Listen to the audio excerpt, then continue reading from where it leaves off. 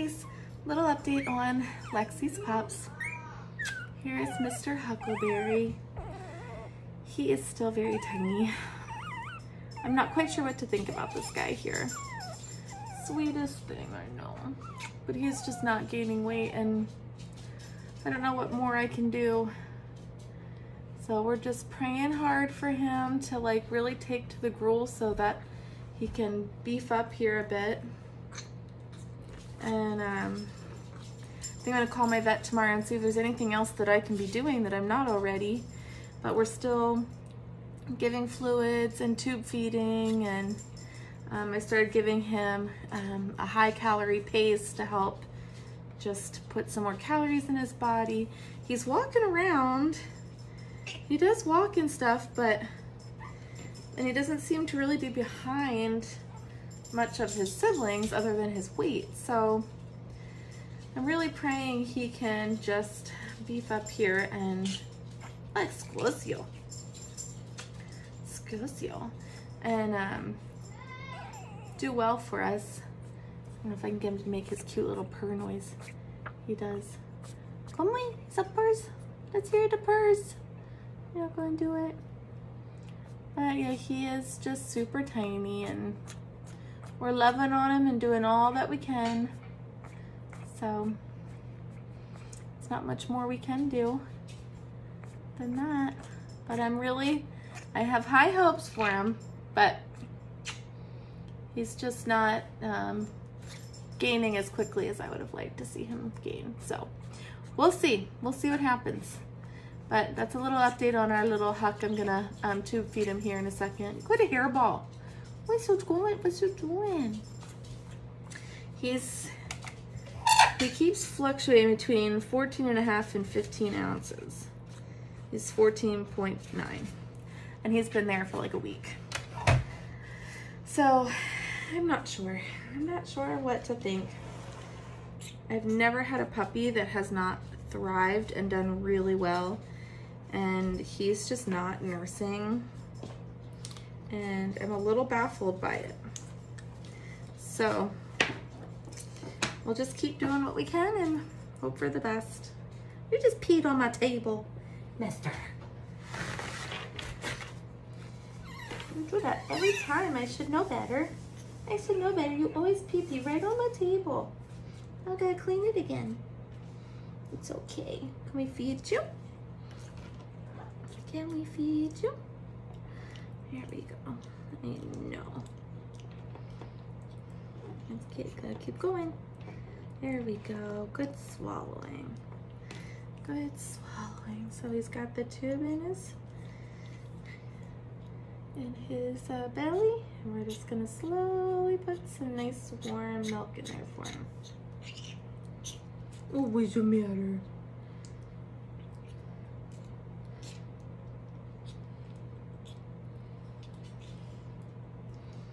There we go. There we go. Now your belly feels full. Mm. I love you. I just realized. What'd you realize? My leg is sticky. Oh man, from your popsicle? I think so. Go get go get a wet washcloth and clean your leg. But what if Mommy, it's not going to come off? You don't think it's gonna come off? I think it will. Here's the other three chunkaroos, and this is that paste that I've been giving um, little Huck.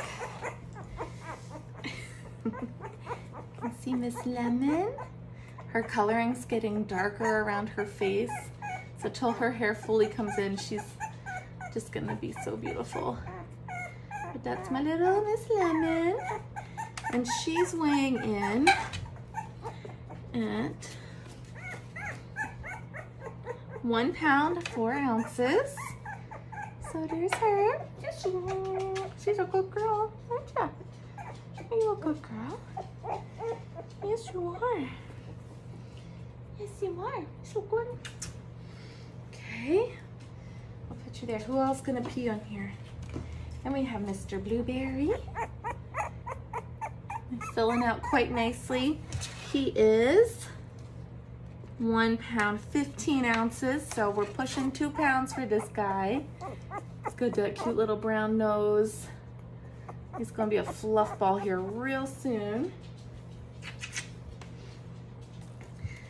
These guys are smaller than our cockapoos just because of the breed. So we don't have them, um, their new collars on just yet. Um, these bigger two probably could fit into them, but I think we'll wait another week um, before we put them on here. And then we have Miss Clementine. Little Miss Clementine.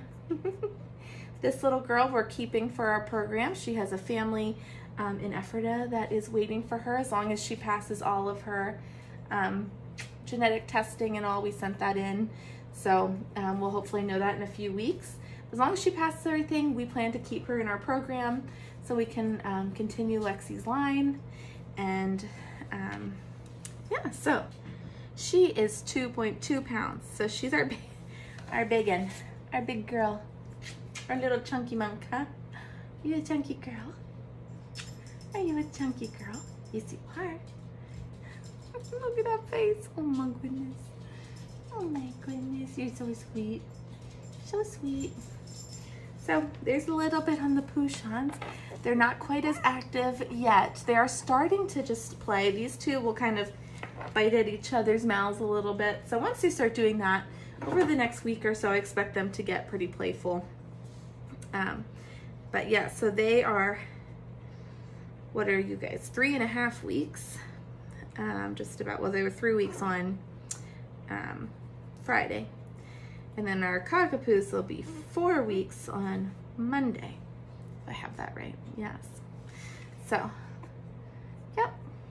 They're just a little bit behind the cockapoos, so they're not quite as lively yet. Plus they're just smaller, so they're, um, you know, it takes them a little bit more to get, get those little um, bursts of energy to do all those fun things. So I'm gonna put them back for mama and um, there's a little bit on all the babies.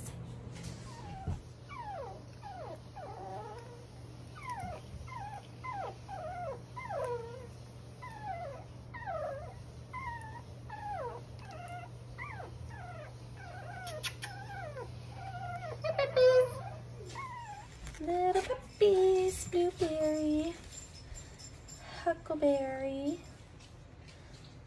lemon, and this Clementine.